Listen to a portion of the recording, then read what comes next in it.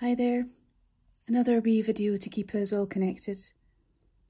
Last night I was sat here at my desk, listening to the weather.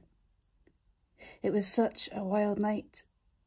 I couldn't see out too well, but I could hear the winds raging, the rain battering the window. I thought of the dozens of sparrows that graze at the feeders and wondered if they'd be huddled together.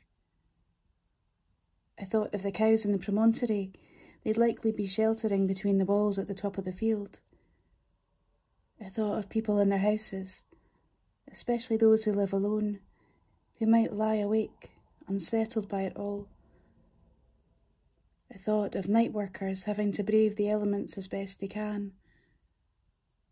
But this morning, well, this morning is a different day. Look at that. Yesterday the storm was raging. Today is broken. The birds are back at the feeders. The cows will be grazing. People will be opening their curtains or closing them if they've been out working through the night to a different picture. A wee reminder, maybe, to anyone who feels like they are living through a storm. The clouds will pass. The winds will subside.